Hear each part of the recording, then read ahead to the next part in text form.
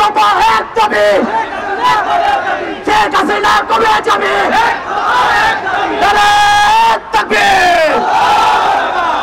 যখনই স্মরণ করতেছি, আমার শায়েকের ঠোঁট জোড়া ফোলা, নাক জোড়া ফোলা, তখন হৃদয়ের রক্তক্ষরণ হচ্ছে। যখন চিন্তা করতেছি, আজকে টোটাল বাংলাদেশের ভিতরে মানুষগুলোর মাঝে ন্যায্য অধিকার, সাম্য মানবিক মর্যাদা ফিরিয়ে আনব, তখনই সেই মুহূর্তে আমাদের প্রার্থীর উপরে এমন হামলা বাংলার সাধারণ জনগণ থেকে শুরু করে সুশীল মহল কেউ সুন্দরভাবে মেনে নেয়নি। আপনারা তারই প্রতিফলন দেখেছেন। বাংলাদেশের সমস্ত পত্রিকাগুলোতে, সকল মিডিয়াতে, বিশ্বের অন্যান্য সকল মিডিয়াতে তা হেডলাইন নিউজ হয়েছে কারণ কেউই চায় না একটা দেশের প্রার্থী কোনোভাবেই বড় ধরনের ন্যাক্কারজনক হামলার শিকার হোক। কারণ একজন প্রার্থী যদি হামলার শিকার হয় সে দেশের সাধারণ জনগণ যারা ভোট দিতে যাবে, তারা সাধারণভাবে কীভাবে তাহলে ভোটের নিশ্চয়তা তারা দিতে পারে?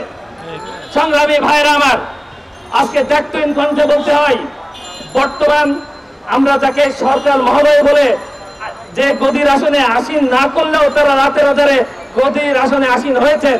আপনারা চোর জোরপূর্বক হন, অথবা রাতের আধারে যেভাবেই হন না কেন, সরকারের আসনে থাকার পরেও আপনারা একটা অংশগ্রহণমূলক নির্বাচন দিতে ব্যর্থ হয়েছেন।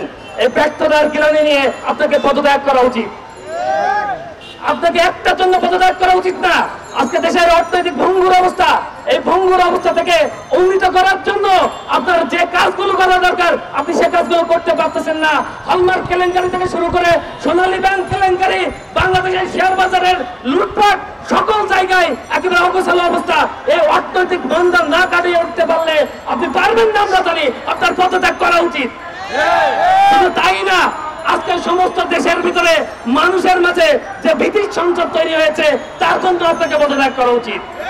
আজকে শাহেকের চরমনের উপরে হামলা, শুধু শাহেকের চরমনের উপরে হামলা নয়, বাংলাদেশের সকল আলমের উপরে হামলা। শুধু সকল আলমের উপরে হামলা নয়, বাংলাদেশের প্রতিটা তো হয়েছে জনতার মুখে হৃদয়ে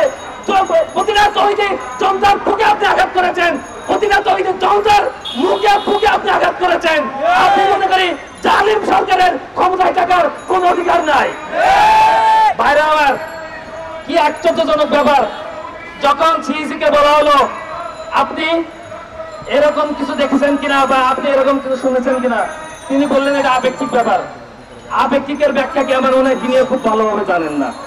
আপেক্ষিকের ব্যাখ্যা কি? তাকে আরও ভালোভাবে জানানো দরকার। তিনি আপেক্ষিকের ব্যাখ্যা দিয়েছেন কি? কারোর রক্ত যদি গড়িয়ে পড়ে তবেই কি সেটাকে রক্তকরণ? তিনি আপেক্ষিকের ব্যাখ্যা বলতে কি বলতে চেয়েছেন? আমি খুবই হতাশ। এমন একজনকে কীভাবে সিইসির মতো জায়গায় বসানো হলো? আমি খুব হতবাক হই। অবাক হই।